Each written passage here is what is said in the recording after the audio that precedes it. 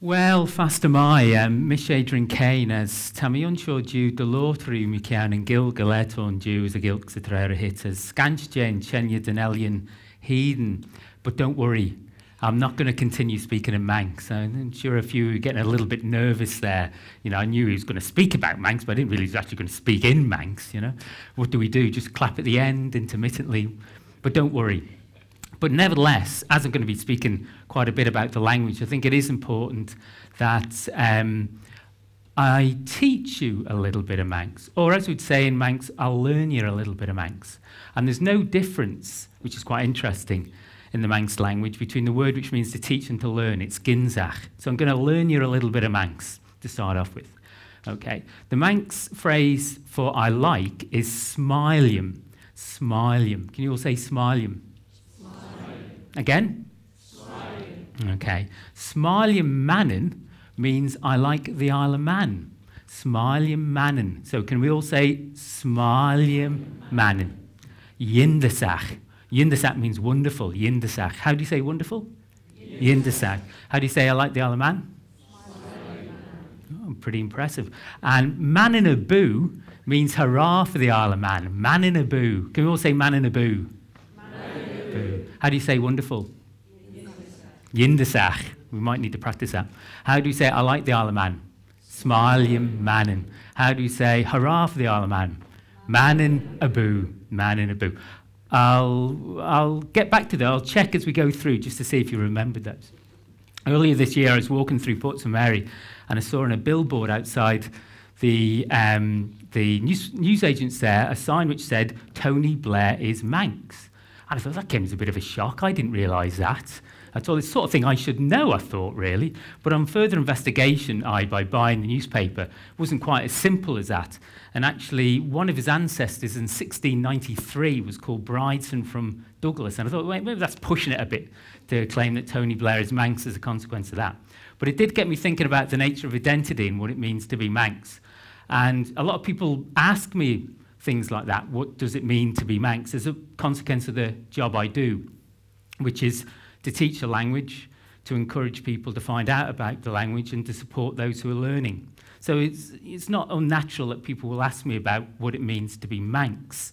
And yeah, indeed, what is Manx? What is the Manx language? What's the point of learning Manx Gaelic? Shouldn't you be doing something more useful with your life, like learning Arabic or Chinese or something like that?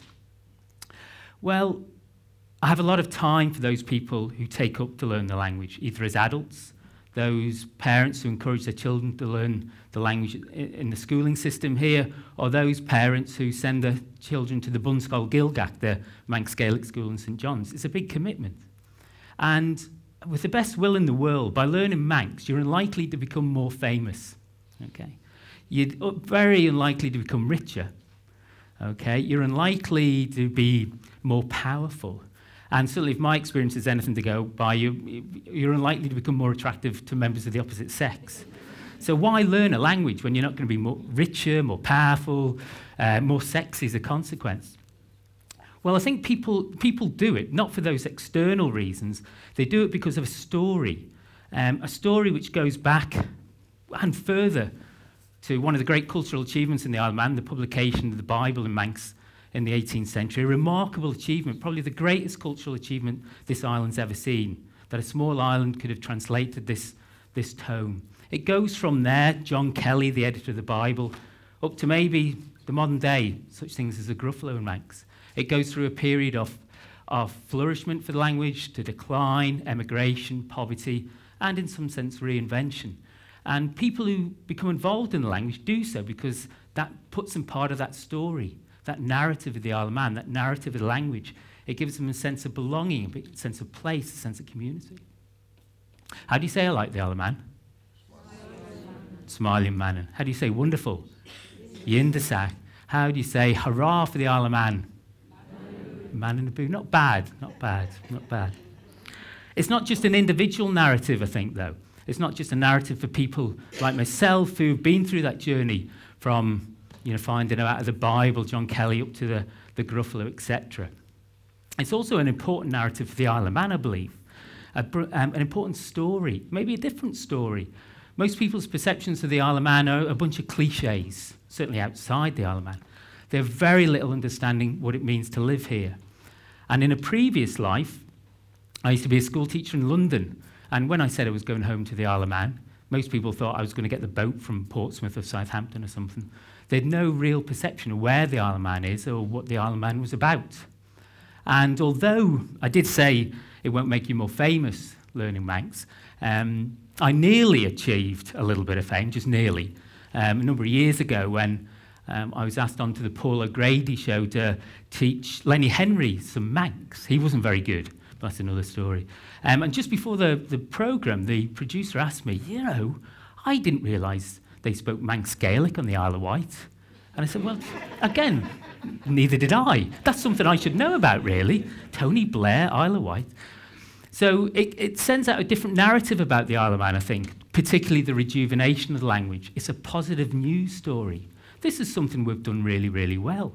The people who worked for the language in the 50s and 60s, they would be amazed of what's been achieved over the last 20 years. We have now a Gale school. All the kids there over 70 achieve their whole education through language. It's remarkable. And it's something we should be proud of. And it's something which sends out a different narrative. The Isle of Man isn't just about, you know, low taxes. It isn't just a windier version of Preston with, with lower taxes, has its own culture, traditions, history, and just as we have those and every right for them, we, sh- we, should, we have the right to our own parliament, our own tax system, our economic system. How do you say hurrah for the Isle of Man? Wonderful. I like the Isle of Man. Smiling Manning, pretty good. Smiling Man.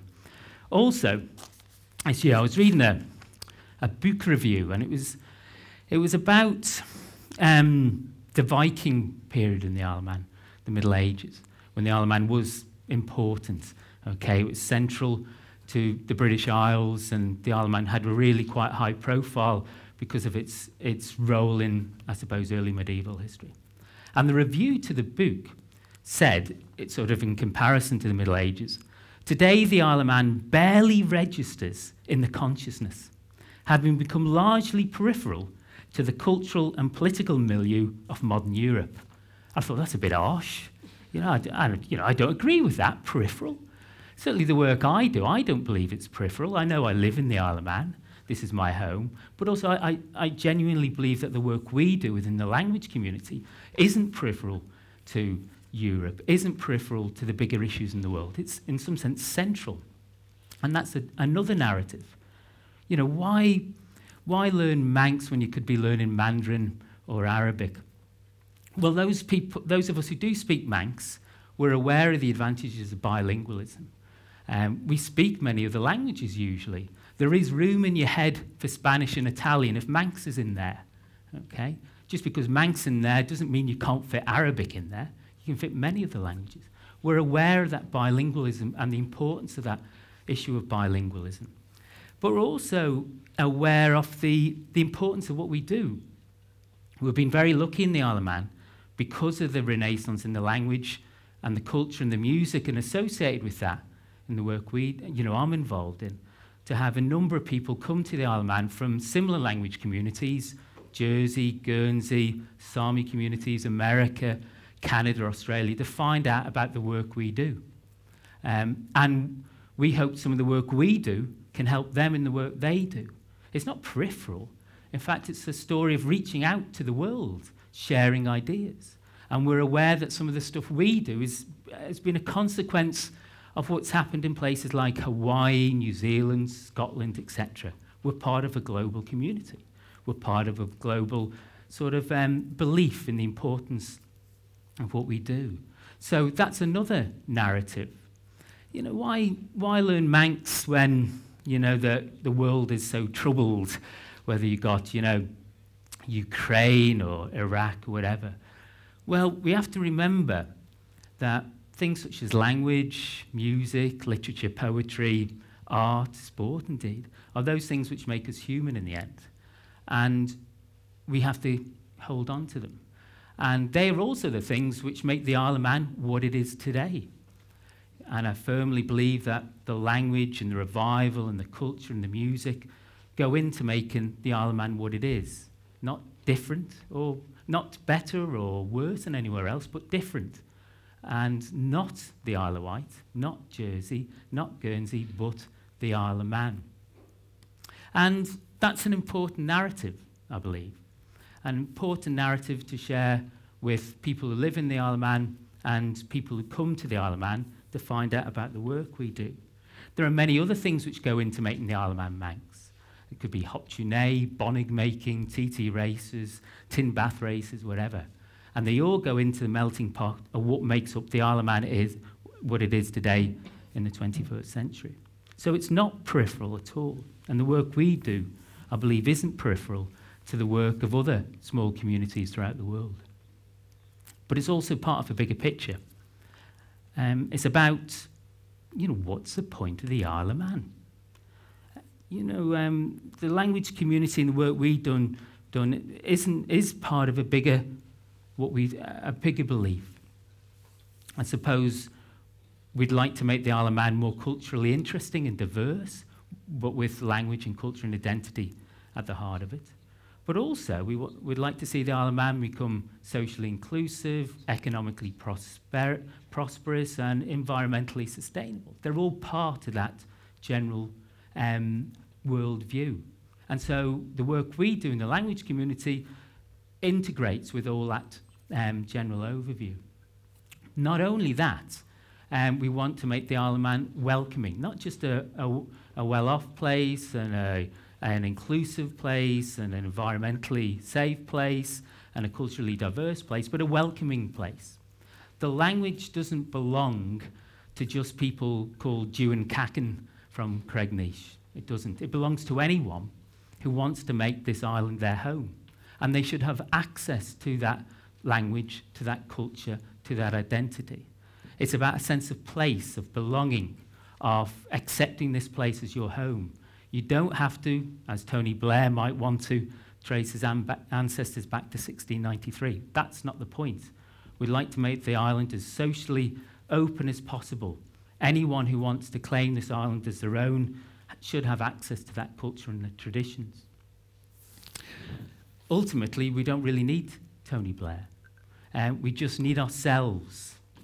Okay, we need a sense of vision, a sense of place, and a sense of purpose within the language community, we're happy about where we are. Partly, okay, in the past with the Bible and all the work that people in the past did for the community. Also, very much in the modern, where it be in the world of Facebook, Twitter, YouTube. Very much rooted in the Isle of Man, but reaching out to the world with the work we do, sharing um, with the world with the work we do, um, and hopefully learning from other communities as much as they learn from us. Part in the past, part today, part local, part global. And a community which is confident, socially inclusive, culturally diverse and exciting, and welcoming to everyone. And with that sort of vision and sense of purpose and commitment, there's no limit to what we can achieve as an island and as a culture um, and as a as a, a community. So in the end, we don't need Tony Blair, thank you very much.